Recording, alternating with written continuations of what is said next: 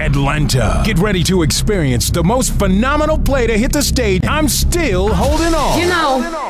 Tell you something, Father. Faith Walk Ministries, in association with Mykel Coleman Studios, presents this one of a kind production. It'll make you laugh, even cry. More importantly, it will inspire you to hold on. I'm still holding on. Starring gospel recording artists Randy Hardaway, JaMelia Baylor Stroud, and Mykel Coleman as Uncle Art. Well, oh, body, body, body. And Nina Done in the Dark. I'm sorry, but I'm gonna have to stop seeing you. I'm obligated to my husband. Obligated?